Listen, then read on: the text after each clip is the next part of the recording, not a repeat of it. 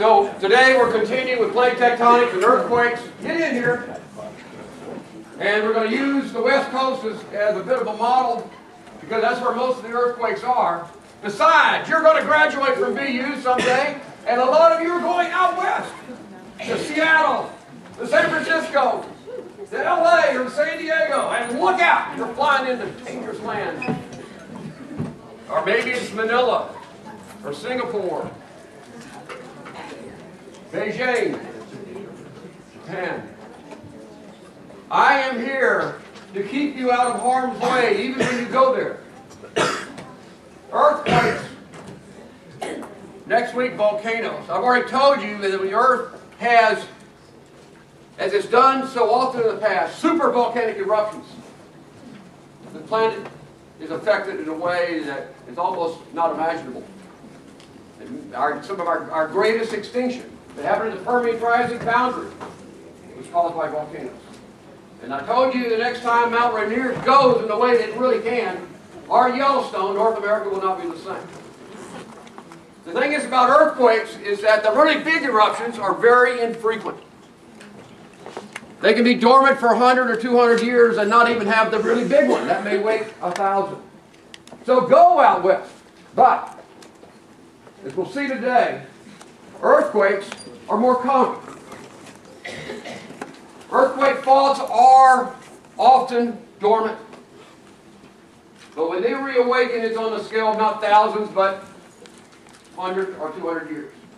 And then they let go into 100 years of strain that accumulates 6 centimeters in a year. 6 centimeters in a year, and I'm letting it build year after year after year after year. You have an earthquake, but it's not enough. I got to move all that. I mean, I need to move that in a year, and I waited that year, I waited 10 years. There you go. then I waited 20 years. You have something move like this. It's a big earthquake. And there's no warning. Volcanoes warn you. The lava breaks its way to the surface. You have time to evacuate. You hear it rumbling. And you can watch and track the lava as it gets closer to the surface. Get out of here! And you go. But watch this. This was the 8.9, March 11, 2011 earthquake in Japan. Wait. Oh, which one is it? Screen left, off, screen right, off, off. That better? Watch this. This is amazing. All right, we're going to start. This thing's been depressed. Earthquake waves you cannot hear. Primary, secondary waves. But they're waves. You can mathematically take them and compress them to where they're at the wavelength of sound. It's called sonar, sonification. And this was the movie that I could not play for you. This PowerPoint from last time is now on Blackboard. You should be able to see it, but watch this. Okay, there it goes. It's quiet. No precursors. It's quiet. Four different stations. It's quiet. 8.9 earthquake about that. Wow. Wow. You just felt an earthquake. wow. Now the aftershocks. Look at the light up, up and down the coastline. Look at that. Boom. Not every station getting every one. They're happening in different places. The whole thing's rocking. All right, here comes a pretty good one. All three stations can pick it up. Boom! Wow. All right. So, no warning. Not as damaging as a huge supervolcanic eruption, but it's going to happen. And as we'll learn today, the West Coast has been very quiet. Seattle, Portland have been quiet since the year 1700. The last time he went in San Francisco was 1906. The last time he went in LA was 1857. A lot of you are going out west or other parts of the world. You need to be prepared. When I was in LA until August, I had an earthquake emergency backpack in my car, everywhere I went. With food and water and first aid. Why? Because the freeways are going to be gone. And I can hike, I can walk to get my children. Which are 12 miles away.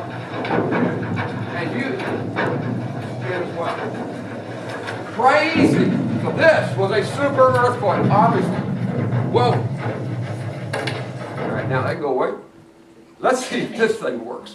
Where am I? Okay. Reset all slides. I'll do that. We're doing that to get those clickers out. Uh, channel 41. Several people are new. People still adding this class. Wonderful. Uh, you go into, how do you register your clicker on Blackboard? How do you do it? huh? Go to Tools, and there's a registration, and then you put in the number on the back. Okay. All right.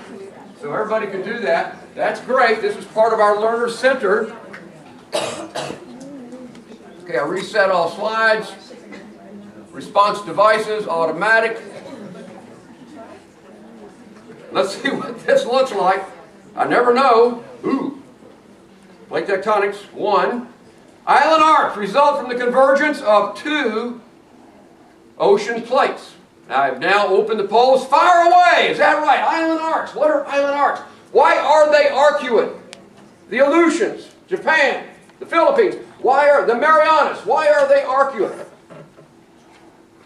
Okay, and you have fired away. Now I'll open the polls to close it down. You have just seven more seconds to make up your mind. You can change your mind. All right, active learning. That is us. And now, 128 of you fired away. 85% said true. The correct answer is true. Now, if you're in that 15%, don't feel bad, but imprint the right answer. Okay, question there. What about hotspots? Yeah, good. Hotspot islands, I'm glad you asked. Hotspot islands like Bermuda, the Canary Islands, Hawaii, are not in an arc. They're created by hotspots.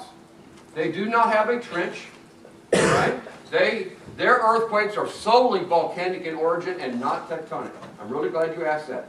So there's a difference between Hawaii and the Aleutians, and you, you got it right on. I like being stopped, and I love getting questions. All right? Let's do another one. This is good. Take a picture of these if you want to. Subduction zone earthquakes range in depth from shallow at the trench. She's doing it.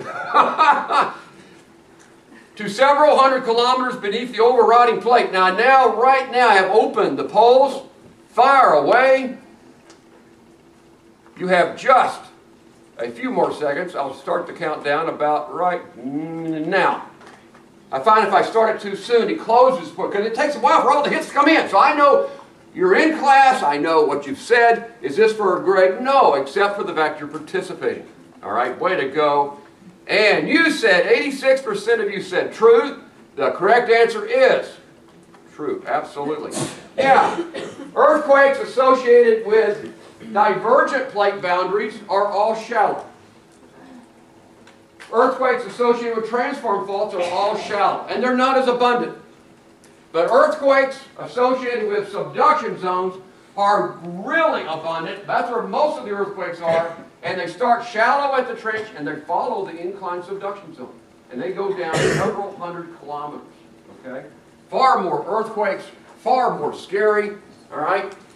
Would you rather live in San Francisco or Fairbanks, Alaska? All right. Ocean crust is youngest at ocean ridges, where it is formed and progressive and becomes progressively older with distance from the ridge. Polls are now open. Fire away. What do you think? You are in a safe zone here.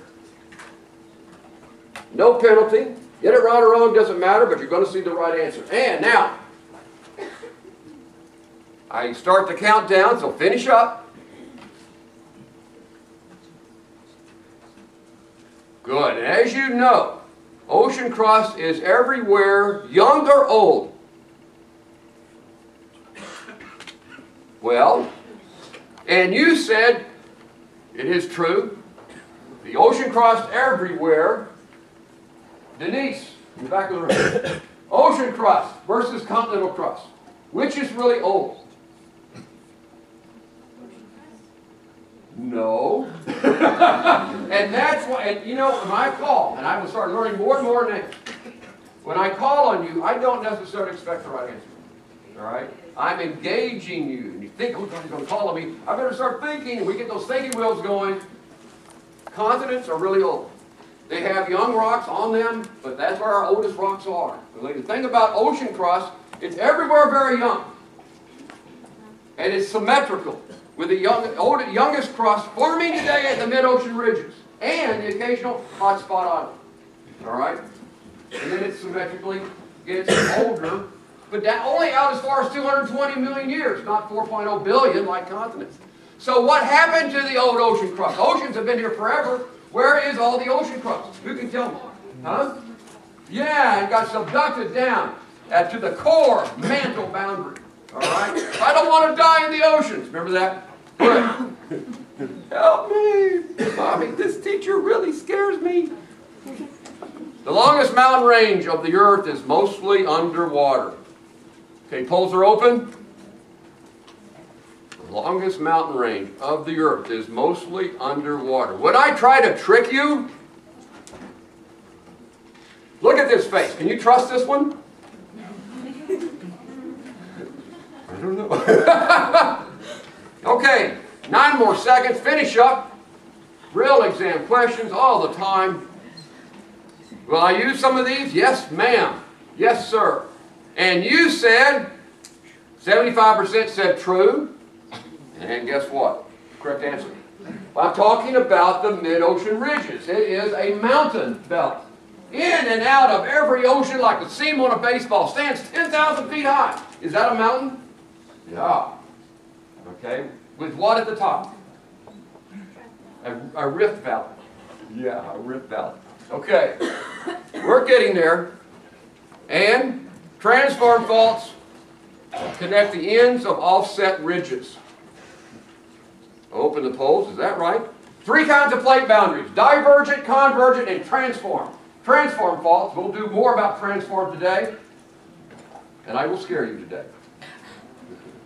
Some of you may cry.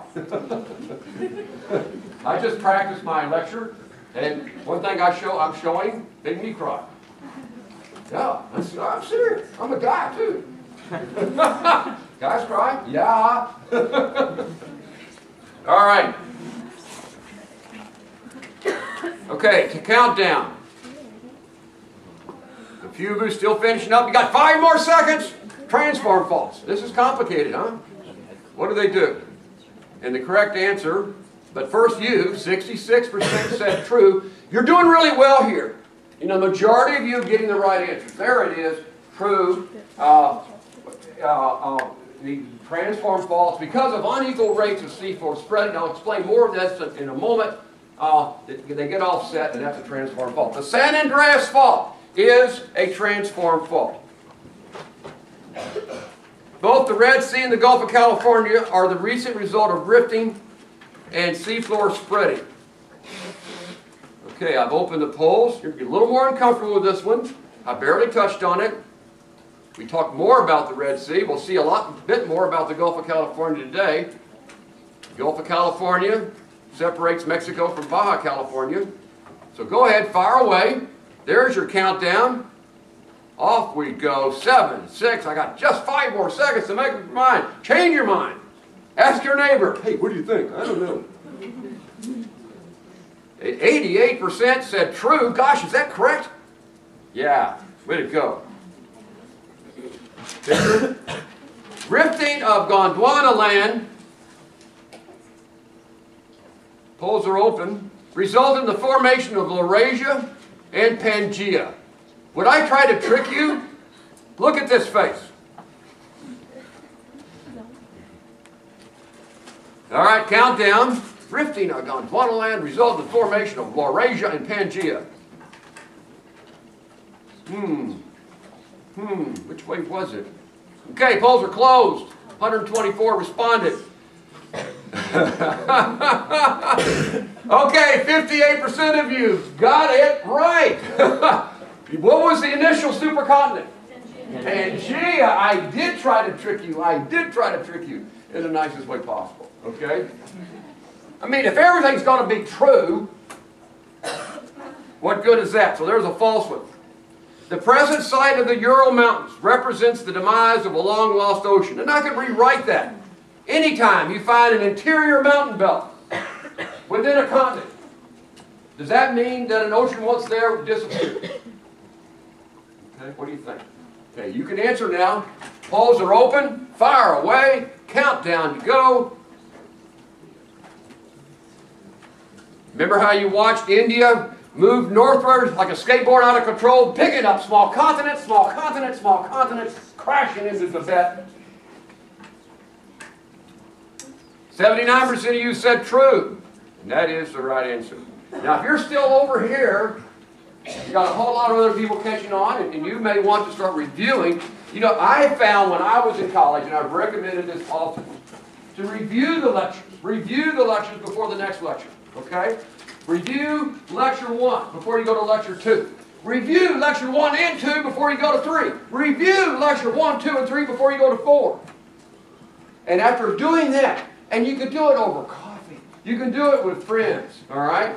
In a comfortable environment. But you, by the time you're at lecture nine, you've seen one, two, three, four, a lot, and you're really comfortable with it. You've imprinted all of that, okay? I will be putting these videos up once I can figure it out. Okay? And we also now are getting video from that camera. Uh, and it's not very good. It just has this image and my voice. Mostly I'm disappeared from it. Uh, so I really like this one, but we'll have that out for you too. And you can sit there and listen and watch if that helps you. And I want that to be the case. Okay? All right. La la. There we go. Quit. Don't save the clickers. No. Don't save that either. But save the session that has all the data, who was here and how you answered and all that stuff. Got it. That's where it goes in my computer. Bye. Bye. Bye. Bye. Don't go there. Okay. Uh, let's see. Okay. Lost everything. Ah!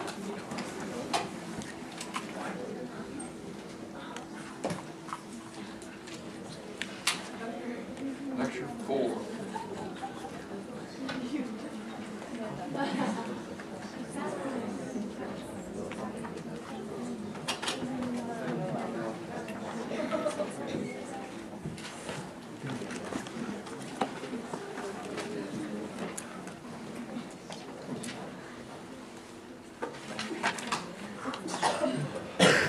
Whoa, whoa. Part two, that's where we are. And we're looking at the aftermath of a 2004 earthquake in Japan, uh, featured by National Geographic. All right, so let's go there. You're learning in lab this week. Now, some of you have already missed a lab because you got ill, and but a lot of you are new. What's our policy if you miss a lab? Go to another one, and you send one email to both your TA, TF, and to the one whose teaching lab you want to go to. All right? Communication. You could get to those labs. All right? And, and so you're learning about earthquakes.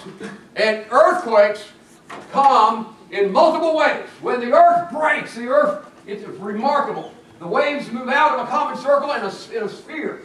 But there's several kinds of waves. The first wave that comes out really fast, there it goes. It's called the P wave or primary wave. It's coming out the fastest, six kilometers per second. That's fast, all right? Boom. And then a separate kind of wave, it's the rolling motion, goes out slower. It's the secondary or S wave. And because it goes out slower, it comes out at a separate time. Unless the earthquake is right underneath your house. If the earthquake is close to you, they're compressed. You just hear, boom! It's like a truck hit your building. You go, wow, do you feel that? Uh-huh. that was close, I know. My wife and I are both geology professors. you imagine our pillow talk. When you feel an earthquake, did you feel that? Did you feel that? Which part? but,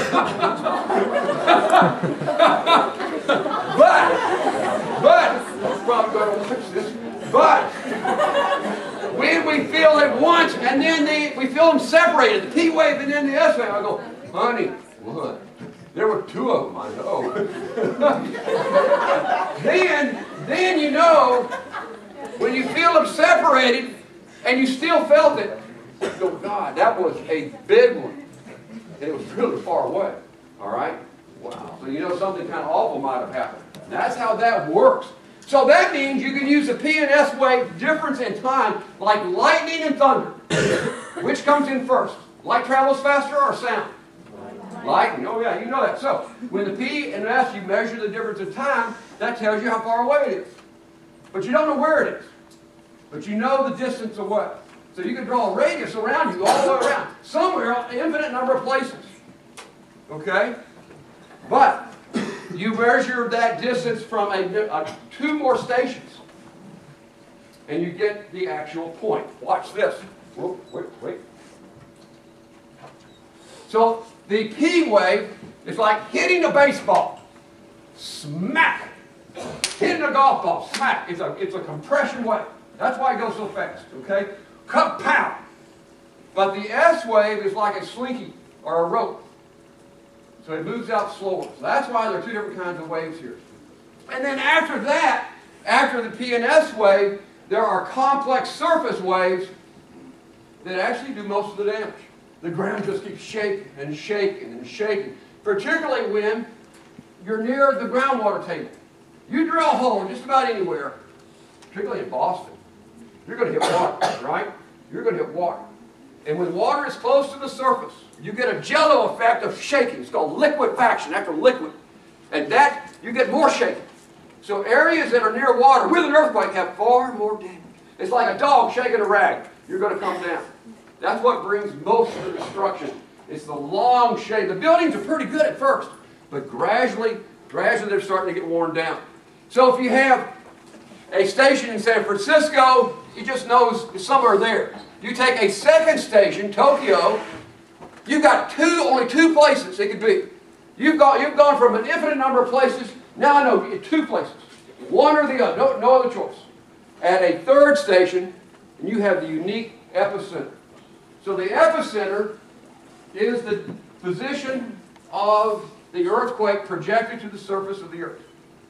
There's also the focus that's the epicenter, projected to the surface. The focus is actually where it is inside here, Because it may be shallow, but just as likely it's deep.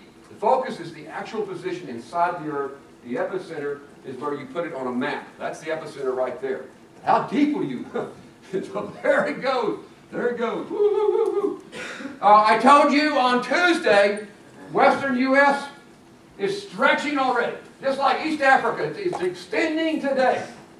And earthquakes that happen there are not on a plate boundary. This is not a plate boundary. Look at this. Stretching from Lake Tahoe down to the Salton Sea, uh, from the Great Salt Lake down to Taos, New Mexico, all of this is called the Great Basin. Look at the corrugated mountains. It is stretching and the mountains are being pulled apart. All right? And it has earthquakes that are not on a plate boundary. These are called intraplate earthquakes. What you felt in August. How many of you felt Virginia's earthquake?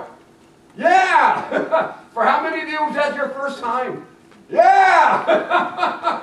that was intraplate, all right? Intraplate earthquakes travel further because the ground is solid, not broken by faults. Okay? Earthquakes travel a lot. That's why all the way up here, wherever you were, you felt that earthquake. And last time Salt Lake City, for example, had an earthquake, was 1857, same for LA, and it's been a long time. So it's waiting. It's going to have another big one. Intraplate. That's another active area is down in New Madrid, Missouri. This area of Arkansas, Missouri, Kentucky, and Illinois, and it is rocking. It's an old fault. I told you the Earth's crust is already under great stress, and this one takes up lots of earthquakes. Uh, also, great, other great big ones Charleston, New York City, Plymouth, Massachusetts. Yeah, these are huge. So we may get one here. We may get those arms coming down during this semester. All right? When the New Madrid earthquake happened in 1812, it caused the Mississippi River to flow north. And boats went cascading into the swamps. Crazy, crazy. So here's the New Madrid. Here's the basin and the range. Those are all interplate. But where's the plate boundary? Pretty well marked, isn't it? All right? So here's the subduction zone underneath Mexico and Central America. Here comes the East Pacific Rise. Here's the San Andreas Fault. And here is subduction zones off the Cascades, and there are the Aleutians. But look at that. a gap in seismic activity. Seattle, Portland, get out of there. So we can't predict exactly when earthquake's going to happen, but we can predict probability. How often it goes, and then when it hasn't happened. The earth is absolutely earthquake constipated in the Pacific Northwest. Hasn't gone. Have you ever had that condition? Let's talk about it. and then, so when the earth gets constipated and then lets go, how big was it? Well, six centimeters per year is average. Let's wait 200 years. Can you imagine not going for 200 years? And you build up six centimeters times 200. There it is. And 400 it multiplies out to 4 meters. That's 12 feet of offset. You just gave way 12 feet. Wow! Of earth movement. So that's how much an earthquake can happen on a fault that's not moving very often and not moving very far. That's a lot of movement. Is that going to bring down your building? Yeah. And when you look at the long-term history, you take 30 million years, not 200, and multiply it out, you're going to move 352 miles. So a town like LA sitting up by Berkeley now. Crazy. That's what the earth is doing. Always moving, all the time. Uh, we use a log scale to measure earthquakes for their magnitude. We used to use the Richter scale. We now use the moment magnitude scale. But they are in a power of 10. The energy is a power of 32. So they both work. The magnitude is how much wave function there is. How big are the waves? And the difference between a, a 2 and a 4 is 100 times, 10 to the 2. The difference between a 2 and a 5 is 10 to the 3. That's a thousand times greater. So if we have a 5 earthquake, you're going to feel it. But an 8 earthquake is how many times bigger than a 5? Thousand times more magnitude. And 32 to 3, 33,000 times more. So it's a log scale, okay? Log scale. And you will have an exam question about a 2 or a 5 or a 6 or an 8. Okay? Can you get that? On the magnitude, not the energy. On the magnitude. All right, so there we go. Oh, God, there it is. Boom, one event. Look at that. Southern California Earthquake Center modeling on the Newport Inglewood Fault. And I will talk a lot about the West Coast today because you're going there, a lot of you, are somewhere like it. And it's a good model. Our last big ones are here. A big one is 8.0 or greater. We just saw Japan having an 8.9. Can imagine. And a 9 is 10 times bigger than an 8. I told you I was going to scare you. and now we're waiting. Now, we've had smaller earthquakes. The San Fernando earthquake in 1971 was a 6.4. Is that a big one? Do this. No. But it was pretty big. it knocked down freeways. It knocked down buildings. I moved to L.A. in 1975. Never been there before, California, for a job interview. And so I came there as an earth virgin. Right? Never felt the earth move. And then right away, we started having earthquakes. And they were little. And they were kind of fun. And our house would rock around. Hey, it? Yeah, that was cool. Kind of wobble wobble. And then, because the last time we had a pretty big one was 1971. I got there in 75. And then, in 1987, the Whittier earthquake broke. it broke. We had glasses flying off of counters uh, dishes rattling, whole building was shaking. The kids were just outside heading to school. I ran outside and they were frolicking. It was a blast. Birds coming out of the trees, dust rising from the ground. Scared the ass out of me. All right? First time I'd ever been scared. I did more, and that was only a 6.1. So sixes, sixes are dangerous. They're not the big ones. And then Southern California went into a whole series, and Northern California, of pretty big earthquakes. The Loma Prieta earthquake happened during the what game? World Series. Yeah, World Series. Who was playing in it? Giants. That's pretty good. so on land, you get landslides, you get liquefaction, you get uplift, and you get subsidence. The topography of the earth changes. At sea, so that's liquefaction created by the Loma Prieta earthquake. It was actually down near Santa Cruz where the epicenter was, but San Francisco's down low near the water. So we have a whole lot of liquefaction. And you know, now know what liquefaction is, right? Yeah, all right. But out at the sea, the earth rupture is on the sea floor.